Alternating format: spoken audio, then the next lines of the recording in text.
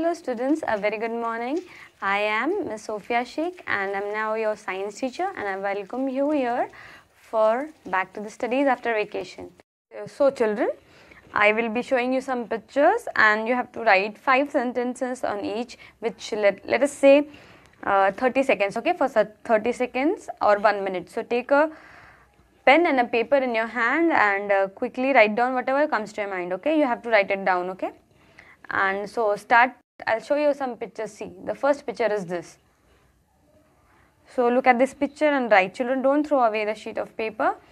Uh, as i'm going to keep it safely and nicely as you, you we will meet and you will come back to school if at all.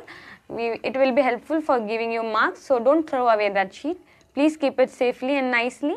So uh, and properly do this activity seriously. Whatever comes to your mind looking at, at this picture. This is the first picture and the next picture i will show you is here. See this. So this is our first picture and this is our next picture. Whatever comes to your mind looking at this first picture like it is a house full of mess and the next one is also a house but a proper organized one. So you can write anything like uh, the house looks good or whatever comes to your mind like the sofas are good it is uh, the things are properly placed whereas here all the things are scattered the suitcase is open and etc like this. You can use the sentences too okay? So properly write the five sentence and also you can compare the both pictures. Write your views on that. Don't throw away that sheet. Keep it properly. And uh, just analyze these two pictures. The first one and the second one. The first one is like of an house in a mess complete mess all the things scattered here and there. Whereas the second one is the proper organized house where looks very beautiful nice and organized where everything is kept at its place. Children your mama does this every day. Why? Why does she do this all this? Why? To keep to make your house look good. And also whenever you need a thing you can find it properly. Why because it is all well placed. If the things would be like this in your house can you imagine waking up for school and uh, just in a hurry scurry not even finding your school uniform?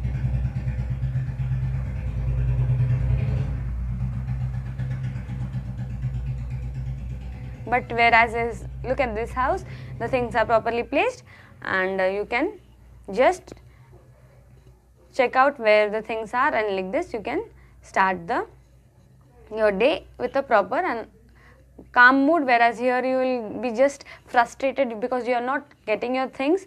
Whereas here you will find everything and the day will go smoothly not in a rush okay? So hope you have written whatever I means, means whatever you thought. I hope you have jotted it down and let us now. So here so the point of this activity was to, so today children we will see how the, similarly how sorting of materials like sorting this is a kind of sorting of keeping everything in place. So why it is necessary on based on this we will see the chapter why scientists do the sorting things. So the today's chapter is based on that. So let us see. We will be studying the next chapter, chapter 4 of standard 6 science that is sorting materials into groups. Children, different types of objects are made up of different kind of materials. For example, a door.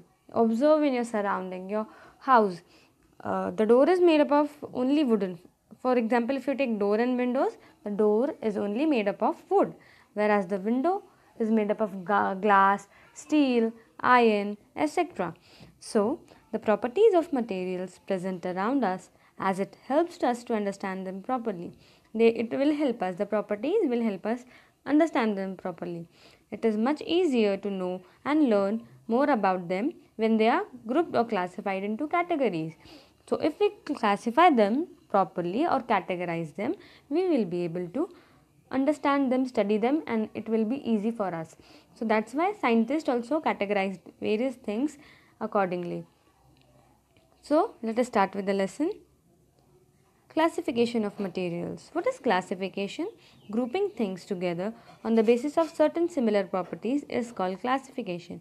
For example, living and non living. If we consider living and non living things, we are classifying living on the basis of various properties like living things eat, breathe, grow, whereas non living things don't. Similarly, in natural and man made things, natural is that is available in the nature. This criteria is followed, whereas the man made that is we human beings made for eye convenience. So we call them as man made things. Children, you understood the classification, the properties that we consider while classifying.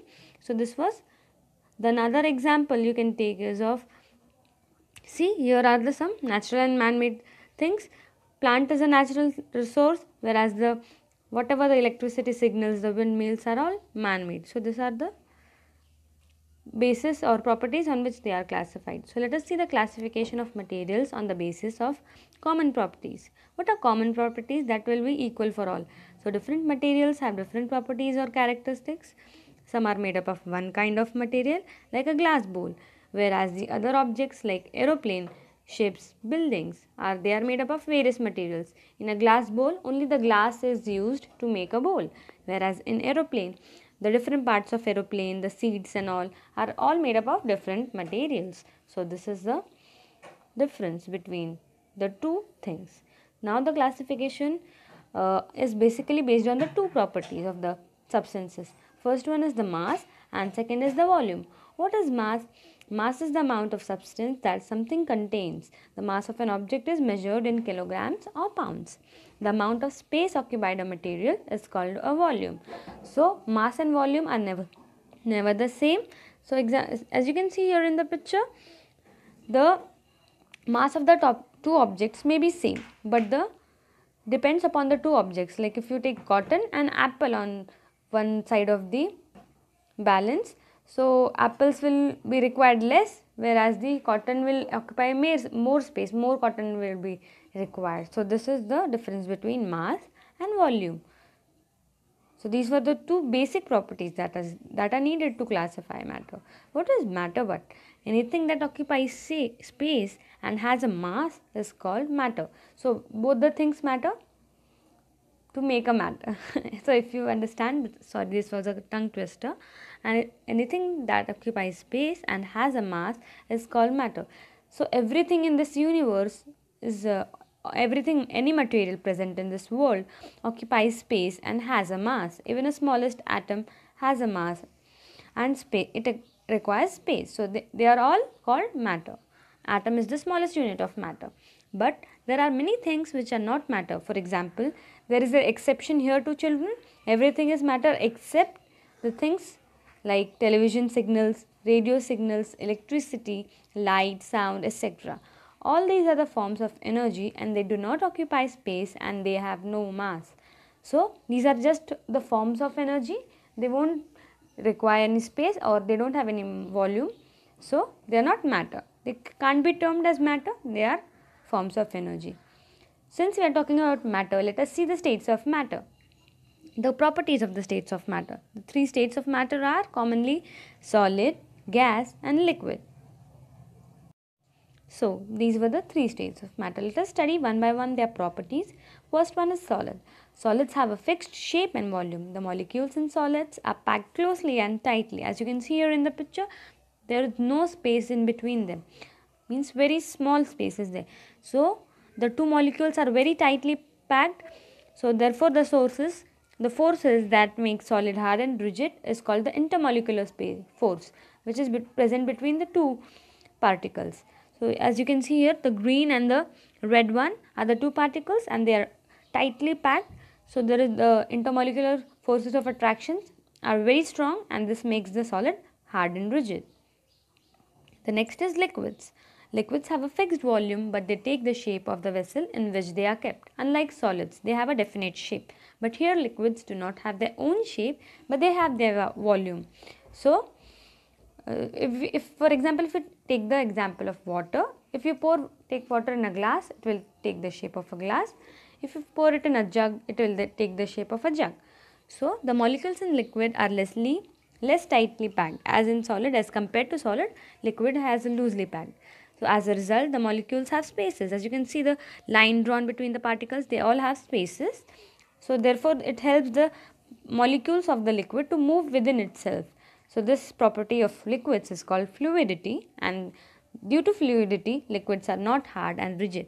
So this was about liquids. Next is of gases.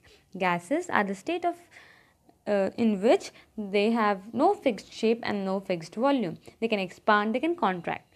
The molecules in a gas are, at present at large distances between them and they are very little intermolecular forces of attraction. As you, you saw uh, when the in solid, why the force is strong? Because the two molecules are tightly packed. But here, as there will be gaps and spaces, automatically the intermolecular space or the force will be less. So gases occupy the whole of the volume of the vessel in which they are kept. They also don't have their own shape, but they will occupy the whole space in whichever container or vessel they are kept.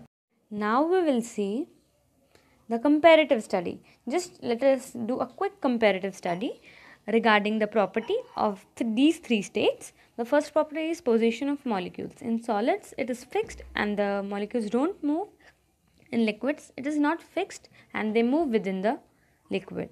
In gases, it is also not fixed and they are always moving. Intermolecular forces is the strongest in solid, less than uh, stronger than solid in liquid and the least strong in the gases. The next property intermolecular spaces least and most tightly packed in solid. It is a little bit loose in liquid.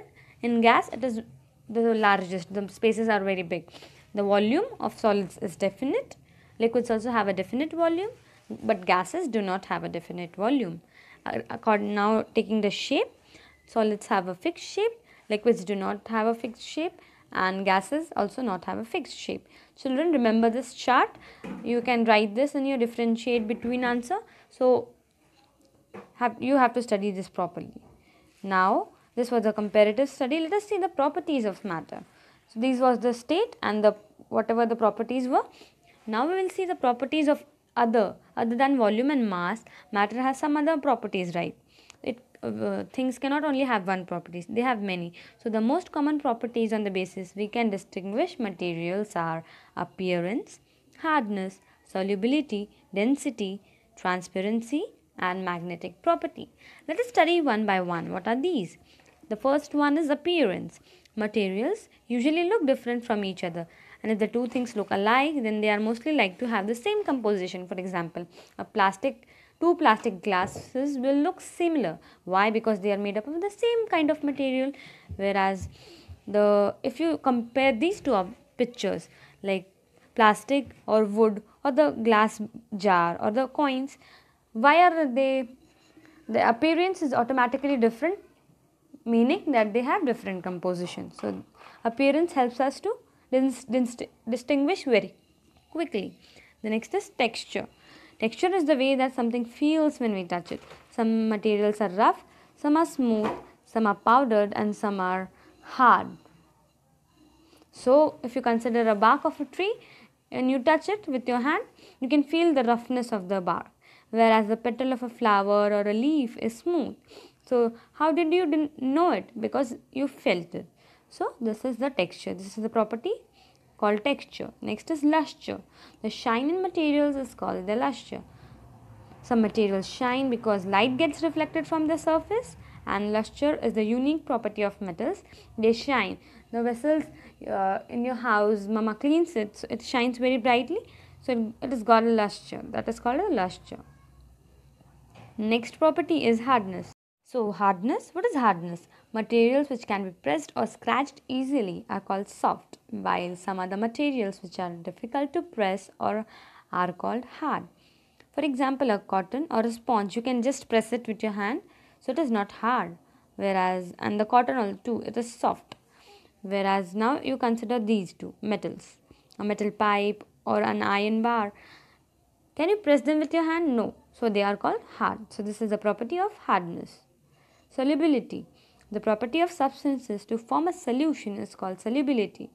The liquids which dissolve in the solubility is you can see the solution. Wait, wait, I'll just show you this this thing, this pictures.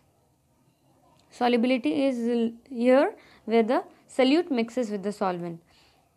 So whatever the liquid part it is called the solvent and the solid that dissolves in it is the solute. So here these pictures depict the solubility of substances like you mix tea, sugar in tea, a tablet dissolving in water is a solution. So these was the solution. Now let us see the two when we are talking about solution there are two types of solution. There are that is the liquids which dissolve in one another when mixed. They are the miscible liquids. Here you dissolve color while washing drawing and painting you have observed while painting something you wash your brush in the water it gets gets mixed up that is miscible whereas the liquids which do not dissolve in one another and form separate layers are called non-miscible like try to mix oil and water do they mix no so these are the non-miscible or immiscible liquids I told you about solubility earlier. Just go through these pictures. Uh, now we have the next property that is transparency. If a substance or material is transparent, you can see through them. We can see through a substance only when light can pass through it. Therefore, materials on this basis can be classified into three more categories. Transparency also has got three more types like transparent materials, translucent materials and opaque materials. Opaque now, you will understand when you look at this picture. Look at this picture, children. The man is holding three things. The, in the first one, the face of the man cannot be seen through that white sheet. Children, in the second uh, picture, the man is holding again the same piece, but there you can see the bloody image of his face. So, this is translucent object. Whereas in the last one, you can clearly see his face. So that was tra transparent. The first one is opaque next translucent and then you have transparent. So this was about transparency of substances. The next property that we have is density what is density the, de the mass per unit volume of a substance is called its density the materials with a lower density than water for example wooden logs will float on water whereas the substances with a greater density will sink for example take a iron nail or a coin and try to dip it in water. It will automatically sink. Why? Because its density is greater than that of water. The next property that we have is thermal conduction. What is thermal conduction? The substances which allow heat to pass through them are called good conductors of heat. Thermal conduction is the th word thermal is related to heat. So whatever substances are heated up, they are they have the property to conduct heat. So the substances which do not allow heat to pass are bad conductors of heat like wood and plastic. So you have observe observe your mom mother cooking a vegetable. She takes a frying pan and holds the handle. Why the handle is made of, of plastic? Because the plastic is a bad conductor of heat and it doesn't become hot so that your mother can cook. The next property is diffusion. The process of gases and liquids spreading into a surrounding substance is known as diffusion. Children, you can smell things with your with your nose, like uh, a good smell or bad smell. This is due to diffusion of substances. What is diffusion? So gases have the highest rate of diffusion, but different gases will diffuse at different rates. Why? Take consider the example of your mother or father or you applying a perfume while going to a party or something in one corner your mother applies perfume and it's you can smell it through other room too sometimes if the perfume is strong why this is due to diffusion of that perfume next is electric electrical property. Materials which conduct electricity are called conductors. For example metals such as copper iron silver and conductors are the conductors good conductors. Whereas the materials which do not conduct electricity are called insulators or the bad conductors of electricity like wood, rubber, plastics, air, etc. Children, for the conduction of electricity, that is why the wires in a house are made up of copper and why they are coated with rubber or plastic just not to get you shocked because they are the bad conductors they will help to ensure the safety so here are some example of conductors and insulators the conductors are aluminium steel gold etc and the insulators are wood, plastic, rubber, etc. The last property that we will study is the magnetic property. The substances that get attracted to a magnet are called magnetic substances and are said to be have magnetic property. Children, materials that have magnetic property, what is the use? They are used in generators and motors like iron, cobalt and nickel. These are the magnetic materials that help in the conduction of various things and uh, they are used in motors. And even in your toys, like see this small motor, this is used, magnets are used. Please, see you in the next video children. Hope you like the lesson, understood the lesson. You have to comment below whatever your doubt is and, uh, and whether you have seen it or not so that I will be marking your you all present and your attendance will be seen. So, see you in the comment section. Please comment children